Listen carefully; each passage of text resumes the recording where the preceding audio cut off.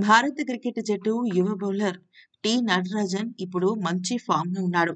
నిజానికి ఆస్ట్రేలియా అలాగే India series మొదలైన క్రమంలో మొదటి మ్యాచ్ల్లో తడబడిన భారత జట్టు ఎప్పుడైతే నటరాజన్ రంగంలోకి దిగాడో అప్పట్నుంచి అటు వన్‌డే ఇంటర్నేషనల్ కానీ, ఆ తర్వాత జరిగిన టీ20లో కానీ నటరాజన్ అదరగొట్టేశాడు.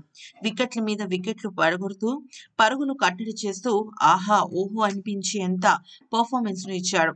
నిజానికి ఐపీఎల్‌లో హైదరాబాద్ జట్టులోనే తన సత్తాను చాటుకున్న నటరాజన్ ఎప్పుడైతే భారత క్రికెట్ జట్టులోకి అరంగరటం చేశాడో తన సత్తా చాటుతూ వచ్చాడు. గల్లీ క్రికెట్ నుంచి అంతర్జాతీయంగా ఇంటర్నేషనల్ క్రికెట్‌లో అన్ని ఫార్మాట్‌లోకి అడుగుపెడుతున్న నటరాజన్ ఇప్పుడు ప్రాక్టీస్ మ్యాచ్ల్లో ఇరగదీసేస్తున్నాడు. అయితే మెల్బోర్న్‌లోని ప్రాక్టీస్ మ్యాచ్‌లు జరుగుతున్న వేళ అసలు నటరాజన్ పట్టిన క్యాచ్‌ను చూసి బీసీసీఐ సైతం షాక్ అయ్యి తన ఫోటోలను క్లిక్ చేసి అధికారికంగా ట్విట్టర్‌లో పెట్టింది. అయితే అక్కడ రోహిత్ శర్మ కాకుండా ఇంకా చాలా మంది భారీ హిట్టర్లే ఉన్నారు. ఆ హిట్టర్లు కొట్టిన బంతిని వెనక్కు వెళ్ళి పరిగెట్టుకుంటూ ఆ క్యాచ్ పట్టడం అక్కడున్న వాళ్ళందరినీ కూడా ఆశ్చర్యపరిచింది.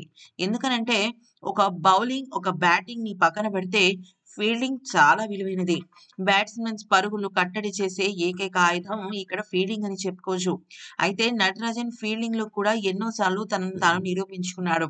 ఇక ఎంతోమంది టెస్ట్ ఫార్మాట్‌లో నటరాజన్ తన యొక్క సత్తా చాటగలడా అనే విషయం మీద ఎంతోమంది అనుమానాలు వ్యక్తం చేస్తున్న క్రమంలో ఈ ప్రాక్టీస్ మ్యాచ్ ఒక ఉదాహరణ, ఒక నమూనా అని చెప్పుకోవచ్చు.